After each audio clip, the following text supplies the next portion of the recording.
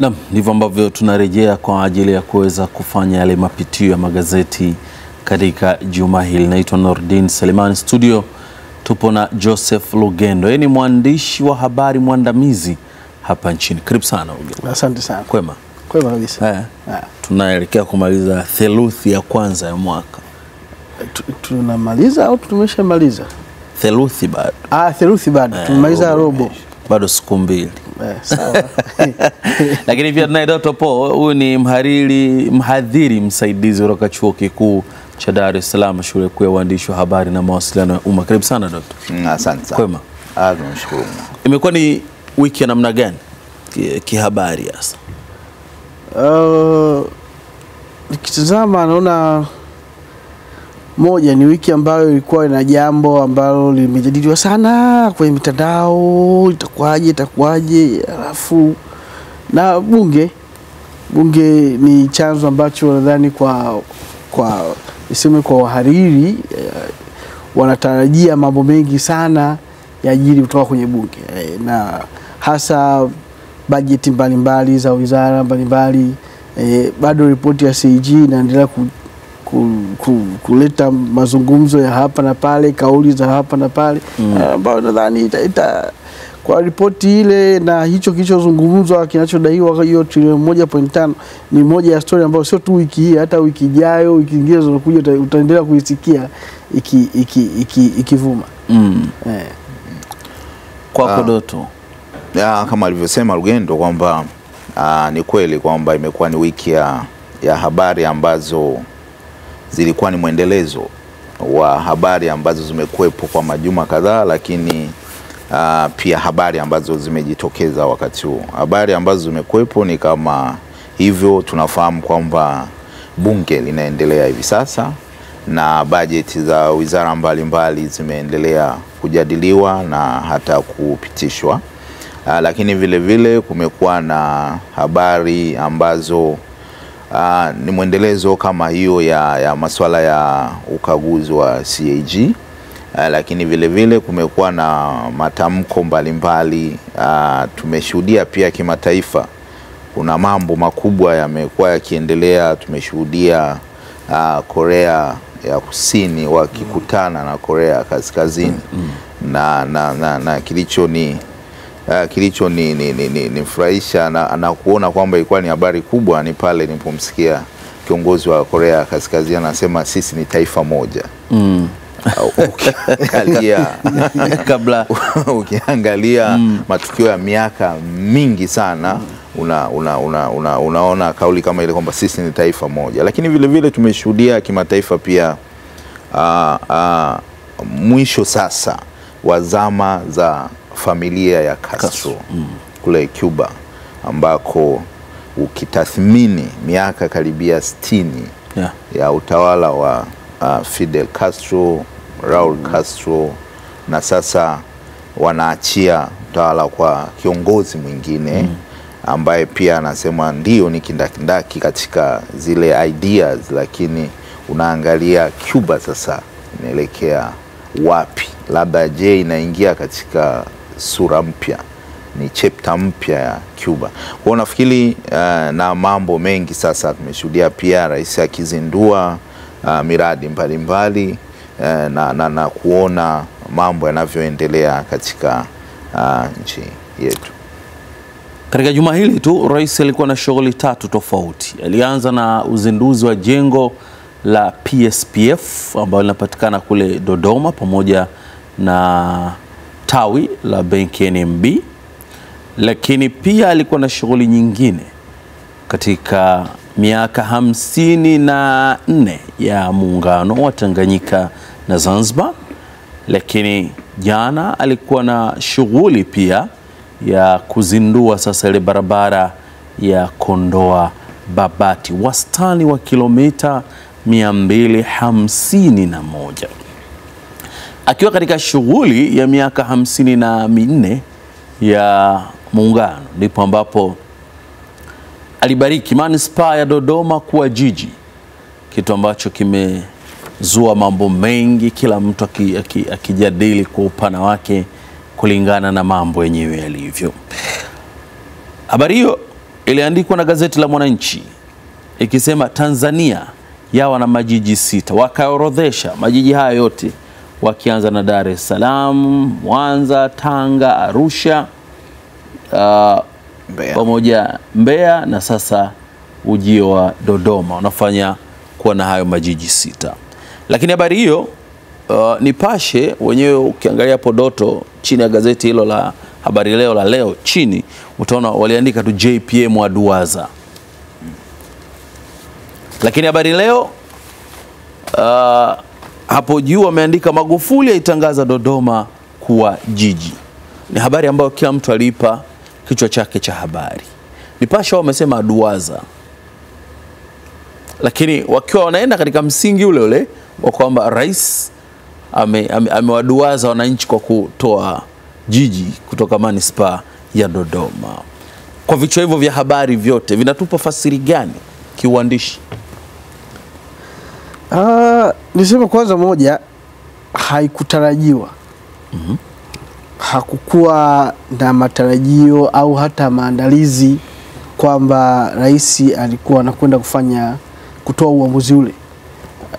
Kwa taratibu ambazo tumezizoea, kukiwa kuna maandalizi, kusingekuwa na yule mtu amepigwa picha akichora ile, ile manispaa anabadilisha pale anaandika eh, Dodoma City. City Pale pangeweza pangetengenezwa siku nyingi kidogo hata mbili, alafu pakafunikwa Yeah. alafu baada ya uamuzi ule alafu ndio wange Display. hiyo moja, lakini mbili, uh, ukiacha kwamba ilikuwa ni mshtuko, ndio maana wengine wanasema ameduaza, wengine wanasema jiji la sita. Hiyo ni kujaribu kuonyesha kwamba tuna majiji mangapi. mm. Wananchi wao kwa eh, walichokifanya wao wamejaribu kuonyesha kwamba Dodoma sasa ni jiji la sita, Mm. tuna majiji mengine matano hawakuweka wazi kabisa, lakini ukisoma habari yao wanataka kujaribu kukuonyesha, je, Dodoma inalingana na majiji haya mengine matano? mm -hmm. Kuna vigezo, ndiyo mamlaka ni ya rais. Uh, kuna vigezo vinavyofikia eh, au vilivyo vilivyo nyuma ya kutangazwa kwa majiji mengine kuwa majiji ukilinganisha na Dodoma. Uh, mimi moja nachoweza kusema ni kwamba ukiangalia haya majiji mengine yalianza yalitimiza vigezo kwanza kabla ya kutangazwa. mm -hmm. Dodoma imetangazwa kwa sababu huenda ikatimiza vigezo kwa kasi kubwa sana, kwa sababu Dodoma sasa hivi inapata mabadiliko makubwa sana. Ndio tangu kilipopelekwa kile chuo kikuu cha Dodoma, Yeah. Dodoma ilianza kupata mabadiliko ya haraka. Sasa ilipokuja uamuzi sasa wa serikali kwamba una serikali inahamia Dodoma, mabadiliko yakaanza tena kwa kasi kubwa. Uh, kwa sasa bado haijaanza uh, kuonekana vizuri. Uh, kuna lile eneo litakalojengwa uh, ofisi za serikali zile Yeah. lile likija kuanza ujenzi kuja kuanza pale, ndio Dodoma, jiji ya Dodoma hasa utaanza kuliona. E, kwa sasa hivi bado watu wana wanajadili kwamba je, imeshatimiza hiyo hadhi au la, lakini ukiangalia kwa kweli kasi ya kuhamia Dodoma, na- nadhani hata sekta binafsi nazo zimeshaanza kubadili mwelekeo Mm. Wako ambao wanahama Dar es Salaam kabisa, wanaenda kupeleka senta zao. Usishangae ukaona mabenki yanafungua matawi yao CRDB, Mm, uh, NMB. NMB wanapeleka matawi makubwa Dodoma kwa sababu ya huo huo kuhama kwa watu unakwendana na kuhama kwa serikali na sekta binafsi zinavyoenda kujiimarisha, uwekezaji unaofanyika kule. Viwanja Dodoma sasa hivi vimepanda bei sana. Kwa nini? Kwa sababu ya watu wameshaanza kuangalia fursa. Serikali inapohamia eh, serikali ndio, ndio taasisi moja kubwa inayotoa ajira nyingi kwa wakati mmoja. Eh, sasa hata ukiangalia vijana wajao wanaotafuta ajira wengi watakuwa wanakimbilia Dodoma. Kwa hata ukiangalia sekta kama ya nyumba sasa hivi watu wanapeleka kule uwekezaji kuanza kuandaa makazi ya vijana wafanyakazi wajao wa serikali watakokwenda kupanga. Hata wa sasa hivi wanaokwenda kule wako wengine ambao sasa wanaamua kabisa kwenda kuwekeza kwanza maisha yao mapya Dodoma baada ya kutoka Dar es Salaam ambapo walikuwa wamekaa muda mrefu. Mm. Doto, vichwa vya habari vina vimetosheleza vime, vime uh, kile ambacho kilichopo na waandishi walikwenda mbele zaidi, ama baada ya tangazo tukaishia kusema labda tuna majiji sita mm. ama uh, JPM aduaza ama hiyo ambayo habari leo waliandika Magufuli aitangaza Dodoma kuwa jiji. Uh, asante na, na, nafikiri kuna kwa muktadha wa kihabari kama ulivyouliza, kuna masuala kadhaa ya kuangalia. Uh, mathalani kwanza kuna swala la labda kwanza tuangalie uh, kutengeneza habari. Uh, mara nyingi tunafahamu walio, walio, walio katika vyumba vya habari wanafahamu kwamba zipo habari uh, mbili kubwa, yaani kwamba tunapoenda kutafuta habari. Zipo habari ambazo tunaziita ziko kwenye diary, zipo kwenye uh, lugha ya Kiswahili nafikiri ni kwenye shajara mm. kwenye kalenda ya, ya, ya, ya chumba cha habari. Kwamba leo uh, leo ni sherehe ya Muungano. Kwa hiyo hii ni habari yenyewe tu. Uh, leo ni Christmas, leo ni Eid. Uh, lakini vile vile uh, zipo habari ambazo muhariri ametaarifiwa siku tatu siku nne kabla kwamba watu fulani watazindua hiki hiki kitatokea.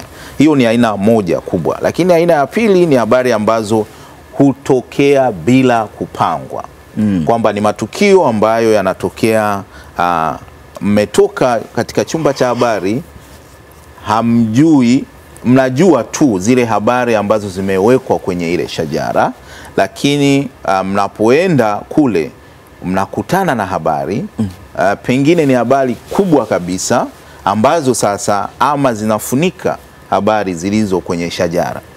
Sasa uh, siku ya Muungano, habari kubwa ilikuwa ni muungano mm. Na waandishi na vyombo vya habari vinafahamu fika kwamba wakifika kule kutakuwa na maswala ya ku tulinde tudumishe muungano, hotuba hizo na kadhalika. Uh, lakini wanafahamu kitasinia na kitaaluma, wanafahamu kwamba hatuwezi tukajikita tu katika hizi hotuba. Nafikiri kuna mambo ambayo yanaweza akajitokeza yasiyotarajiwa no. na hiyo ndio habari nyingine. Kwa hiyo sasa siku hiyo ilijikuta ina matukio mawili katika tukio moja, matukio mawili kwa maana ya kwamba habari ambayo inajulikana leo ni habari zinazohusu muungano mm. Tuna, tutaambiwa tutakumbushwa na watu wa siasa wa sayansi ya siasa wanasema matukio kama haya ya kitaifa si tu ni, ni, ni, ni, ni, ni, ni, ni sherehe, lakini yana maana kubwa sana katika kulifanya taifa kujijenga mm. Wanasema ni, ni, ni, ni, ni, ni hali ambayo inafanya taifa yale maadhimisho ukitazama Uh, wanajeshi wakifanya mambo yao na hata magari yanapoingia ya viongozi, yale hayafanyiki tu kwa, kwa, kwa, kwa kufurahisha. Yale yana maana kubwa sana kwamba taifa linaendelea kujitambulisha kwamba bado lipo, taifa bado lina nguvu. Uh, kwa hiyo watu, na ndio maana unasikia hata viongozi wanasema wasituchezee kuna kauli kama hizo. Sasa ukikuta sasa habari kama hiyo ambayo ilitokea bila kutarajia, maana yake ni habari ambayo ilikuwa haikutarajiwa na kwa hiyo ilifunika, na ndio maana hata vyombo vya habari sasa vikajikuta haviongelei tena sana kwa uzito mkubwa sana kuhusu muungano. Ajenda ikabadilishwa ikawa ni Dodoma kuwa, Dodoma kuwa jiji. Sasa tukianzia hapo sasa kwamba hiyo ndo habari ambayo ilijitokeza bila kupangwa, bila kutarajia. Labda sasa tuangalie kwamba katika muktadha huu, mimi nafikiri kwanza, aa, aa, nafikiri vyumba vya habari na wahariri kama kina Lugendo wanafahamu sasa kwamba duniani kuna watu ambao au viongozi ambao wame, wanajua kutengeneza habari, wanajaribu wana, na siku zote wangependa kushawishi kuinfluence wa lugha ya Kiingereza kwamba habari waweze kuzitengeneza na mm. Wahariri wanajua na waandishi wanajua, kuna wanaotengeneza habari, kuna matukio wanatengeneza habari. Nafikiri hivi sasa tuko katika kipindi ambacho tuna viongozi wanaotengeneza habari zaidi kuliko matukio na waandishi kutengeneza habari. Aa, sasa hilo na, nafikiri kulielezea madhara yake na faida zake pia ni, ni, ni kipindi kikubwa mm. Lakini tu, tuangalie tu sasa hivi uh, hivi uh, vichwa vya habari kama ulivyosema kwamba unaposema ni kweli, cha kwanza ni habari ambayo haikutarajiwa, lakini cha pili tunaitambulisha vipi? Tukumbuke mazingira ya sasa ni mazingira ambayo vyombo vyetu vya habari vime teknolojia imekuwa sana, na teknolojia kwa kukua huku, ile dhima ya kutaarifu ina, inabadilika. Hatutakiwi tu kuwataarifu watu kwa sababu si, tukio linapotokea tu wanajua mm. Yaani inashangaza kama kuna gazeti kesho yake linasema Dodoma yatangazwa kuwa jiji, kwa sababu wasomaji wako wengi karibia asilimia 80 wanafahamu kwamba jana rais ametangaza Dodoma kuwa jiji. Kwa hiyo sasa tunaenda kwenye nini?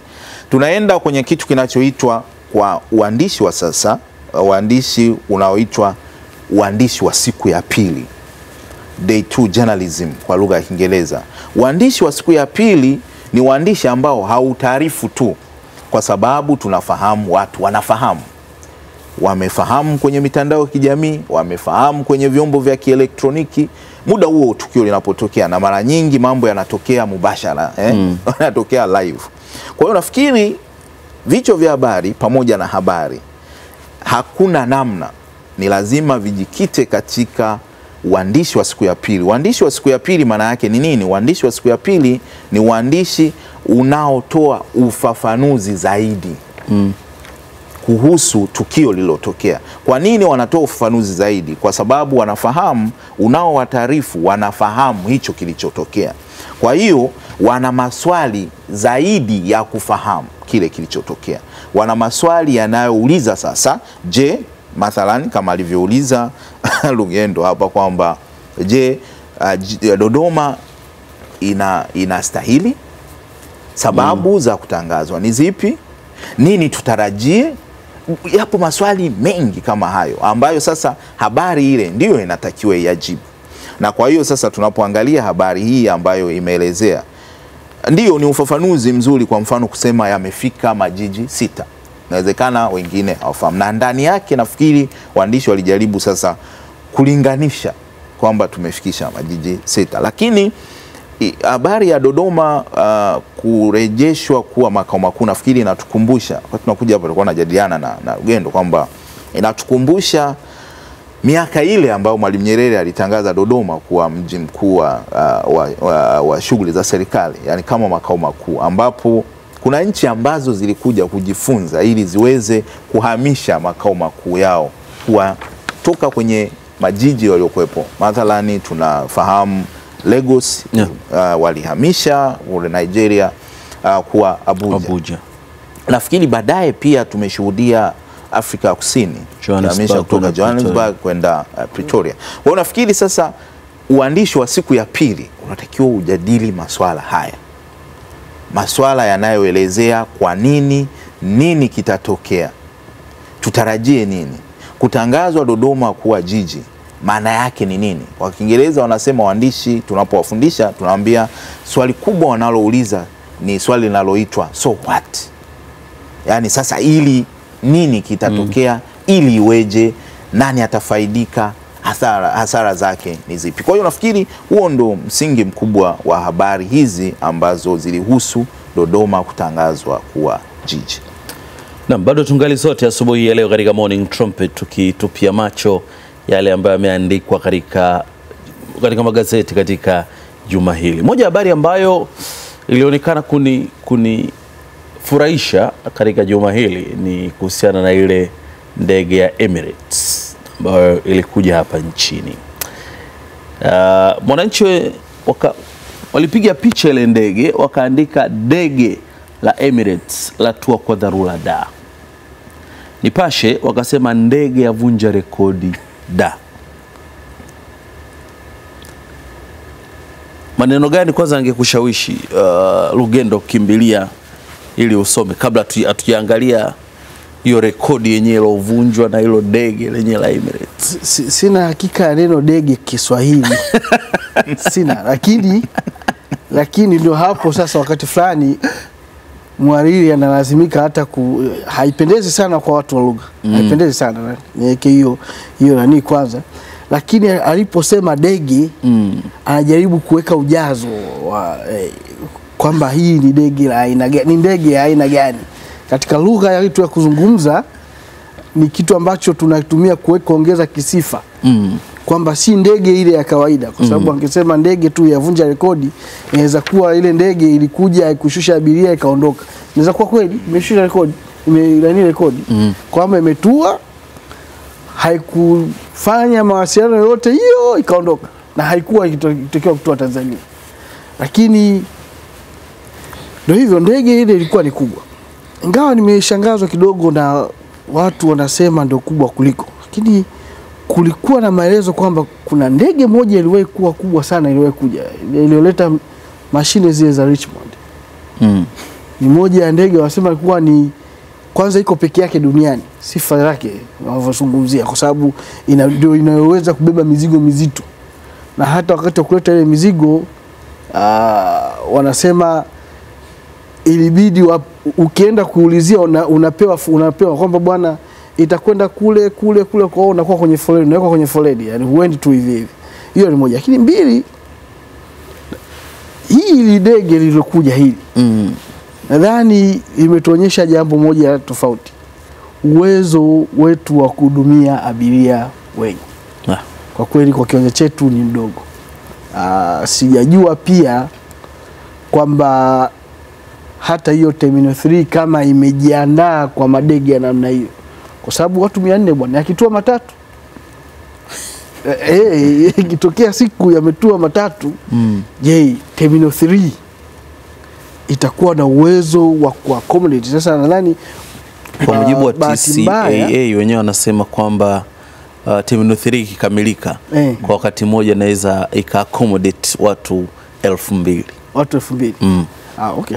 Kama kama kama kuna takwimu hizo, hilo ni jambo jema kwamba sasa tunaweza tukayaaccommodate madege ya namna hii Mm. hata matano yakashuka Yeah. kwa wakati mmoja. Hiyo ni jambo la pili, lakini mimi kitu ambacho nisema ni cha kujifunza sana kwa Watanzania kwenye hili, hii ndege, wale watu mia nne wengi wao walikuwa watalii. Tanzania ni nchi ambayo wanasema duniani ni ya pili kwa vivutio vya utalii. Wameshuka watu mia nne walikuwa enda Mauritius. Ni kwa kiasi gani sasa tunaona tulivyo na pengo kubwa kati ya uzuri wa vivutio vyetu na, na utayari wetu kuvitumia vile kiuchumi, Mm. kwa sababu kama hii inapeleka watu mia nne eh, na imeshuka kwetu kwa dharura tu, ndio tunabaini sasa duniani huko wenzetu katika soko la utalii wanafanya biashara ya aina gani. Sisi tunashushaga watu mia mbili mia mbili mia moja eh, na utalii wetu hatupati hatupati ule uzito wa wateja wanaokimbilia katika vivutio vyetu ambavyo ni vya aina yake duniani Yeah. kwa wa kwa hiyo ni, ni jambo ambalo mimi nidhani uh, moja ya vitu ambavyo wanahabari walitakiwa watu waanze kutueleza, watuonyeshe hawa watu mia nne walikuwa wanakwenda wenyewe wao T- TCCIA wanasema wamefanya biashara, lakini unaona biashara anayozungumza pale, anazungumza mafuta Mm. tena sijui kama angeweza kubeba mafuta yote kwa sababu ametoa mafuta elfu tisini Yeah. na ile wanasema inabeba mafuta laki tatu. Sijajua pia uh, tukiuliza, maana hii ndo changamoto ya waandishi wetu Yeah. eh, kuuliza maswali eh, kudadavua vizuri. Je, tuna hifadhi ya mafuta kiasi gani ya yakitua matatu kwa dharura mm. yakataka, eh, yakataka mafuta lita laki tisa ipo eh, tunaweza tukaitoa sisi Tanzania. Ni mambo ambayo kwa kweli kidogo vyombo vyombo vyetu vya habari, waandishi wetu hawakuweza kudadavua. Hii ndege lilikuwa linaweza ikatupa habari nyingi sana, mm. imetupa habari chache kwa mtazamo wangu, tupa habari chache tofauti ambavyo kwa kweli ungempeleka mwandishi ambaye ni mchokonozi, kuna lugha tunaitumia siku hizi yasema mchokonozi, angeweza kutupa moja, watalii kutoka pale nenda kwenye bodi ya utalii, sisi tunakosaje kupata eh, umuhimu wa namna hii ambao Mauritius wana- wanaopata Mm. ndege hili linakula mafuta laki tatu eh, lita. Je, zikitua tatu kwa pamoja, hifadhi yetu ya mafuta ya ndege Inatosha. tutakuwa imetosha? Au ikitua, zikitua tatu kwa pamoja, basi tabidi tutangaze, jamani, tuache kutu, ndege zisitue angalau kwa siku mbili tatu mm. eh, ili tuweze ku mambo ambayo kwa kweli La, la, la, la, labda kingine pia ambacho nafikiri a- ameeleza vizuri kwamba tulikuwa na habari nyingi sana kwenye, uh, kwenye tukio hili zaidi ya kuelezea tu kwamba ndege kubwa imetua, kwa sababu uh, nafikiri pia uh, tulihitaji kupata hizo background inayosema historia mm. walau kuelezea kwamba je, ni kweli hapajawahi kabisa kutua ndege yenye ukubwa kama huo. Hilo ni moja, lakini pili, kulikuwa na fursa kubwa sana katika tukio hili kuelezea namna biashara ya ndege inavyoendeshwa. Uh, nakumbuka tulikuwa tunajadiliana kwenye kundi letu ambao tulisoma shule uh, sekondari moja na kuna kuna kuna kuna pilot mmoja, kuna rubani mmoja akawa anaelezea, ambao niliona ilikuwa ni fursa kubwa sana ya waandishi kuelezea hili, namna ambavyo kuendesha biashara ya anga ilivyo uh, ilivyo na gharama kubwa mm. kwa sababu tukio kama hili kwa kadri yangekuwa ni masaa mengi ya ku, ndege ile kukaa hapa, maana yake wale abiria walitakiwa uh, walitakiwa kukodiwa hoteli. Hoteli kubwa za hadhi ya juu, kwa sababu abiria wa ndege wanapokuwa wamepata matatizo kama hayo, kwa mfano safari imebadilishwa bila, ku, uh, bila uh, tofauti na the way ilivyokuwa imepangwa au kumekuwa na matatizo kama, kwa sababu tuliambiwa, nafikiri tatizo kubwa ilikuwa ni hali ya hewa mm. na kwa hiyo ilibidi ije kwanza itue hapa. Sasa masaa mengi yanapokuwa, maana yake ni kwamba wale abiria walitakiwa tafutiwe hoteli tena hoteli za hadhi ya juu sana hata za nyota tano. Sasa ukiangalia abiria mia nne kuwaweka kwenye hoteli kwanza, je, kama anavyosema Ugendo kwamba kiutalii tuna hadhi au tuna uwezo huo wa hoteli zenye hadhi hiyo? Mosi.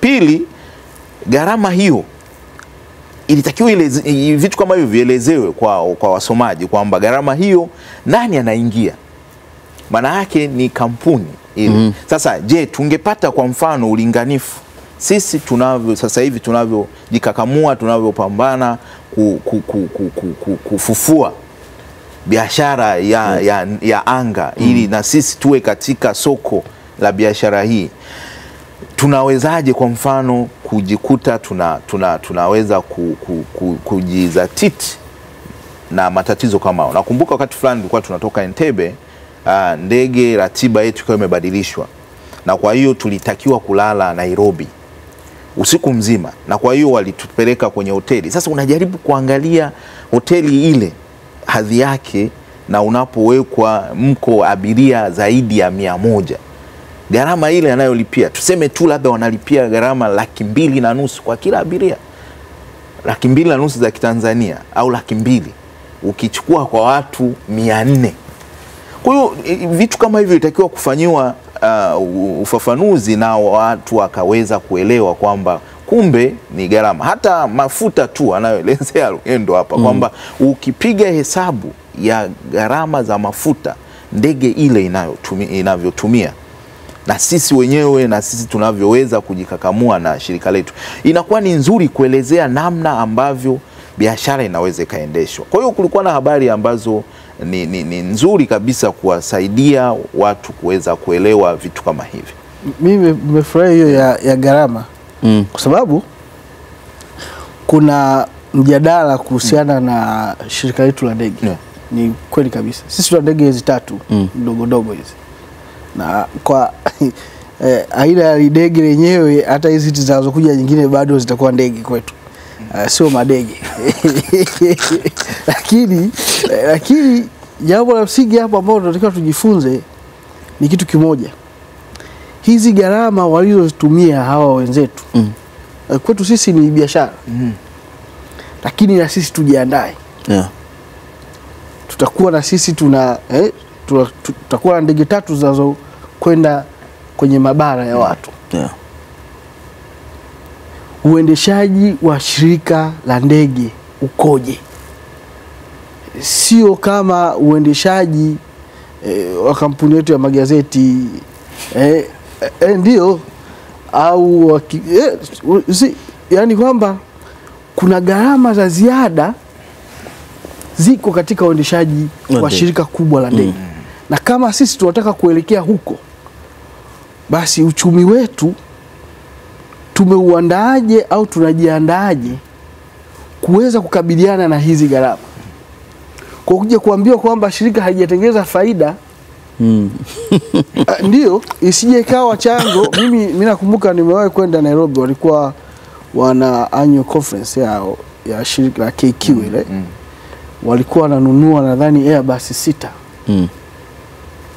Tukamuuliza yule CEO wao, nimesahau jina kidogo, kwamba ah, hii kitu ina faida kiasi gani? Maana kule kwetu imekufa.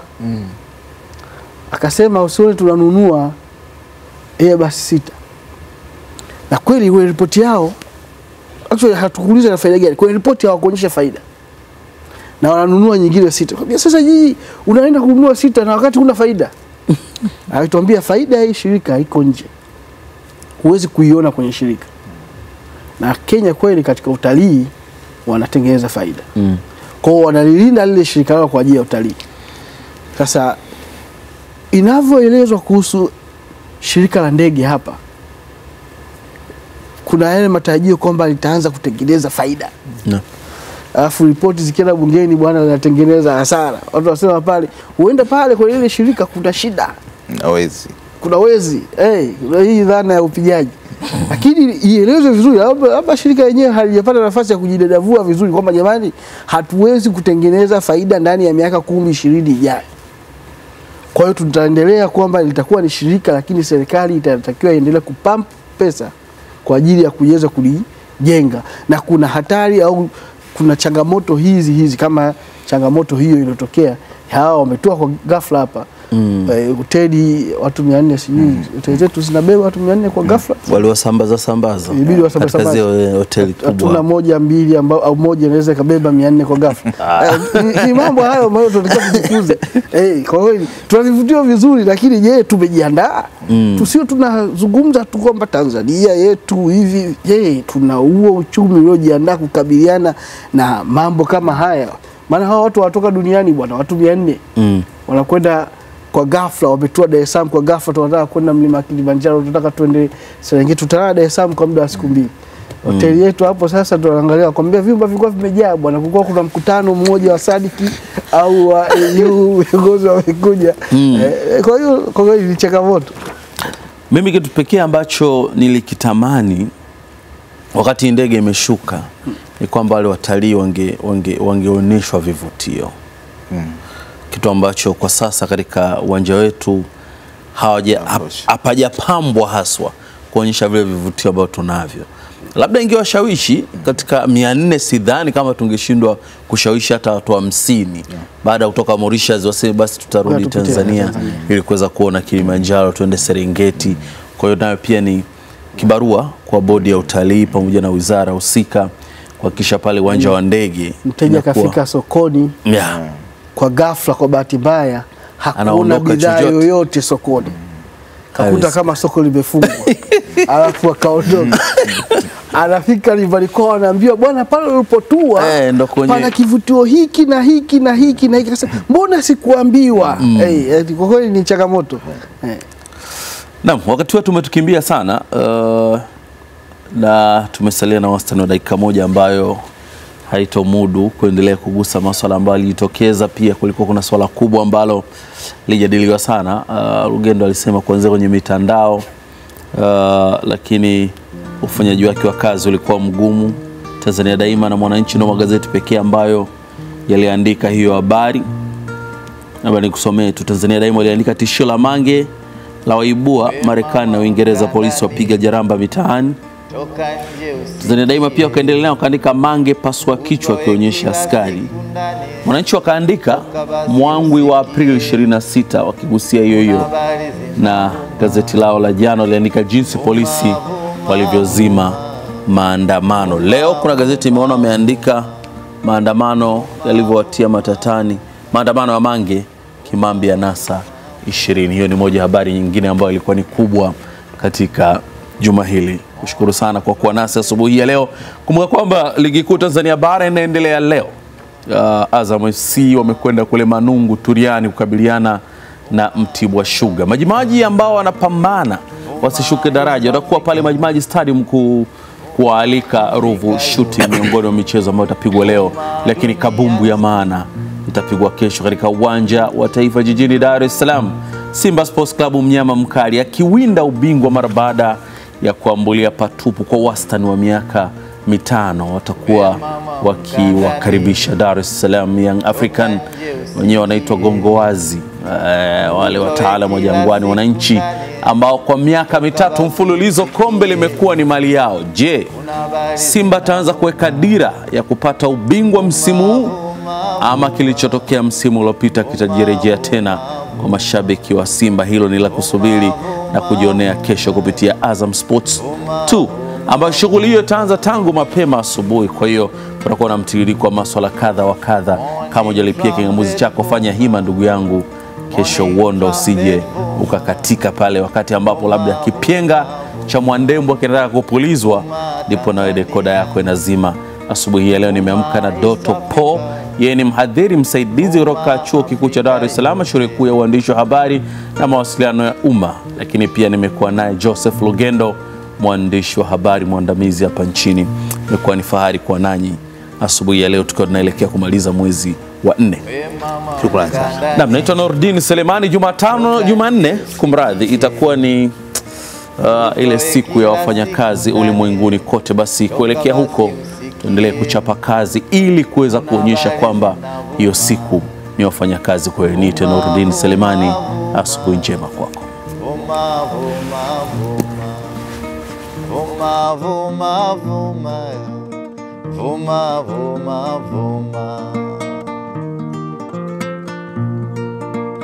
Morning trumpet, vuma. Morning trumpet, vuma. Vuma, vuma, vuma. Vuma Tanzania. Vuma East Africa.